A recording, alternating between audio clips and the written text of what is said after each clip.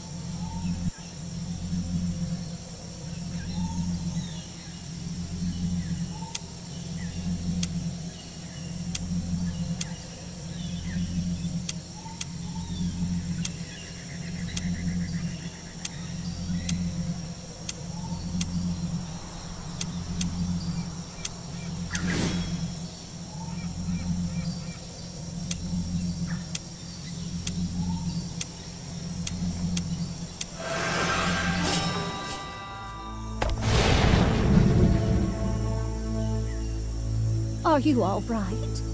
I'm Priscilla, the local herbalist.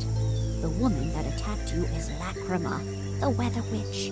She can control it using special rune stones. I know you want to stop her, and so do I.